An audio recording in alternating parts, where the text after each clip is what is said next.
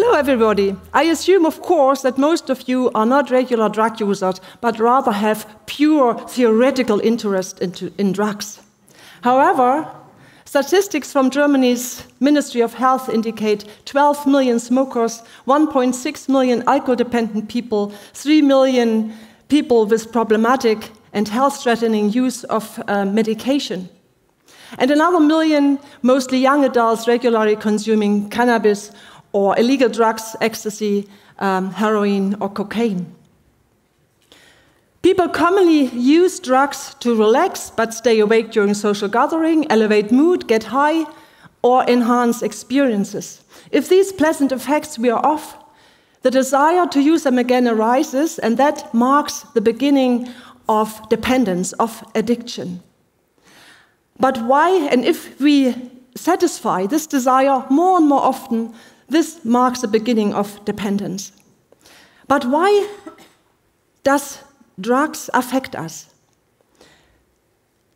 We, our body has uh, recognition sites, so called receptors, for these consumed drugs. These receptors are primarily located on the surface of nerve cells, and if you consume, for example, um, cannabis, and uh, then its active ingredient, um, THC, tetrahydrocannabinol, reaches somehow the brain and binds exactly to those receptors. And that activates the nerve cell activity and, um, oh, I have to look there, like a key in the lock. And that activates the nerve cell activity and results in the release of signaling substances, neurotransmitters. And that, if that happens in brain regions which regulate decision making, uh, emotion, or uh, social behavior, then you may feel more confident, more bold, um, sociable, or happy. Maybe some of you have experienced it after marijuana consumption.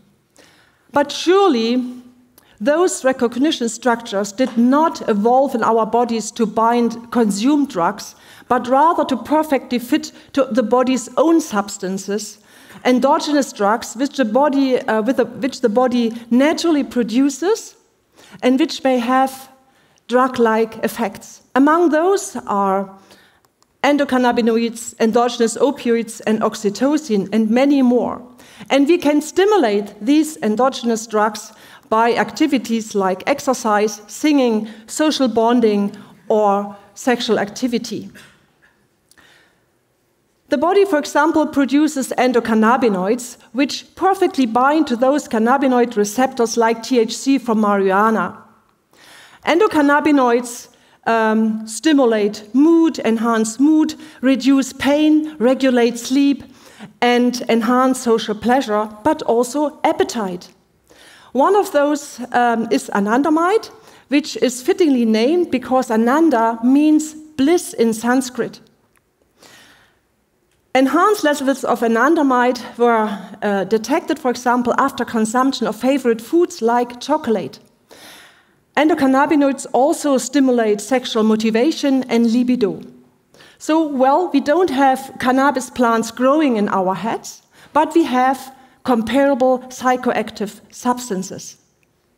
The body also produces endogenous opioids such as enkephalins and endorphins, perfectly fitting to opioid receptors like uh, opium and uh, also binding opium or heroin.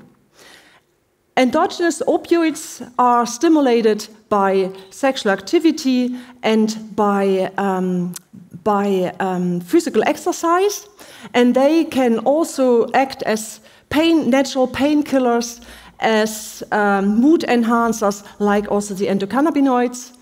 And they can also be stimulated by severe social stress and emotional stress, trauma, pain, as a body's adaptive response to maintain homeostasis. For example, during a severe car accident. Like consumed drugs, our endogenous drugs also stimulate strongly the reward system. Here, the neurotransmitter dopamine is the main uh, player. Dopamine produces feelings of happiness and satisfaction, thus en um, enforcing us to repeatedly seek out um, pleasant states. In the case of consumed drugs, this is tricking us and tricking effectively our brains into repeated drug use, the path to addiction. In the case of our endogenous natural drugs, behaviors such as eating, sleeping, sexual activity were so important for the survival of both the individual and the species during evolution that they were reinforced, reinforced by reward, by feelings of pleasure and happiness. In the orchestra of endogenous drugs, there's another major player on which I have focused um, many of my research during um, my, my, research time I have performed so far, and that is oxytocin, also called the love or the cuddle hormone. The name oxytocin comes from Greek meaning quick birth. In fact, that highlights its, one of its major effects during mammalian reproduction.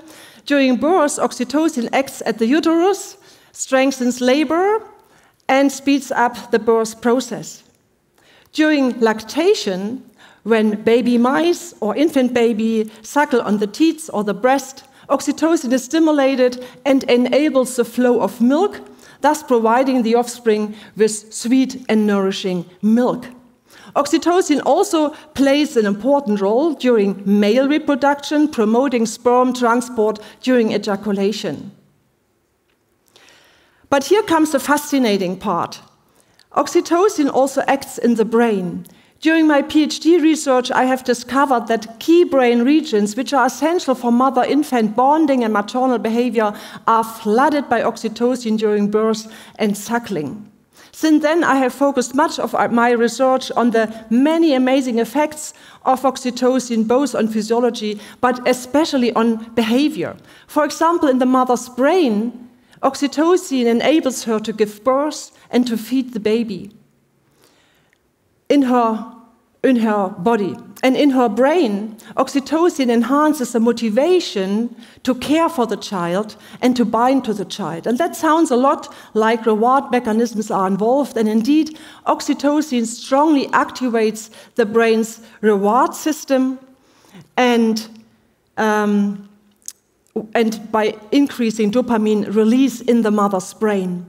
And that is why all mammal mothers, including human mothers, care so selflessly and, um, yeah, and lovingly for their young.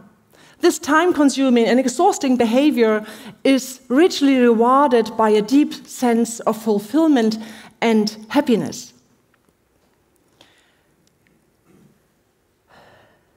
Oxytocin can also be stimulated by sexual activity. In fact, oxytocin is released in the brain during mating when it is fine tuning sexual behavior.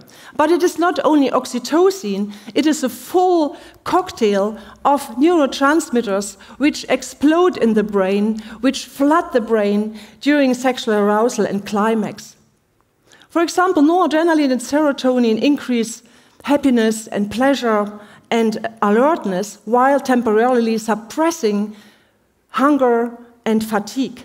Moreover, sex steroids like testosterone in males and estrogen in females heighten sexual desire, while endogenous opioids, enkephalins, and endocannabinoids, together with oxytocin, stimulate the reward center, thus creating the irresistible drive to continue and the euphoric flush. In monogamous species, uh, mating is followed by pair bonding. And here, oxytocin, together with uh, dopamine acting at the reward center, are essential for this bond. However, only 5% of monogamous species are, um, only 5% of uh, monogamous species are, um, of the species are monogamous. One of them is the prairie vole. Humans are mostly socially monogamous, which means we, uh, we raise children together but may have additional sexual relationships. So it seems like strict sexual monogamy is not hardwired in our brains. It is not exactly, it was not exactly part of the master plan in human evolution. Well, all this tells us that there are many ways to stimulate your endogenous drug like systems close physical contact, social interactions, and sex. And in turn, these drugs activated, being activated during these uh, situations, further stimulate bonding mother infant bonding, pair bonding, family bonding, but also bonding to your beloved pets.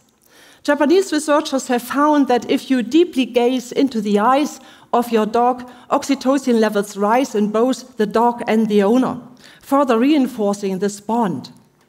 Whether this extends to your beloved guinea pig or goldfish, however, remains to be shown. In the context of bonding, I feel it is necessary to mention that oxytocin is also essential for individual social recognition. You can only bond to a child or to your partner if you recognize them well and remember them. Think of a herd of sheep. Dozens of lambs are bleating, calling for their milk giving mothers. How does, does each ewe recognizes her own? Oxytocin enhances social alliance and enforces the sensory detection of individual social cues, and these mechanisms are important for individual social recognition. Interestingly, also physical, um, also physical exercise like running is efficient to boost your endogenous drug-like systems. We have performed a study at the University of Regensburg and have asked students and recreational runners to provide uh, urine samples before and after running. Therefore, we called it the Run and Pee study.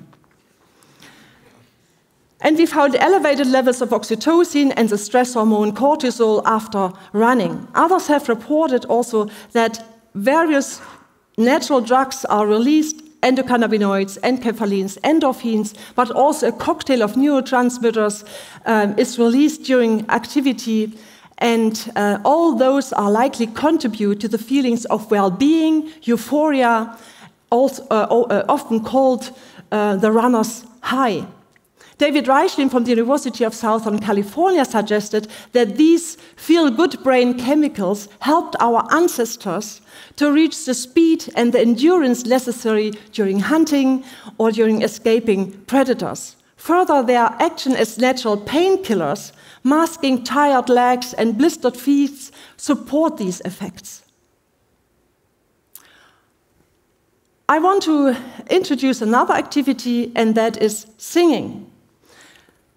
There's strong evidence that singing, whether alone or in a choir, has beneficial effects on both mental and physical health. We found increased levels of oxytocin after singing, but this time singers were not asked to provide urine samples, but saliva samples. These increased levels were accompanied by reduced levels of stress of the stress hormone, and in fact, uh, choir singers more often reported feelings of happiness and reduced feelings of sadness and, and worry. Others have found that group singing enhances trust, cooperation, and social closeness. I personally, singing in that choir, find singing and performing beautiful pieces of music extremely rewarding and relaxing, despite the fact that singing requires energy and physical strength, alertness, and focus.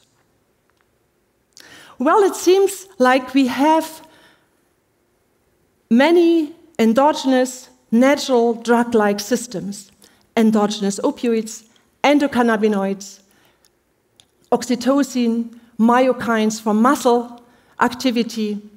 And fortunately, we have many enjoyable and healthy ways to activate them. Try them out and see how they affect your health. Thank you very much.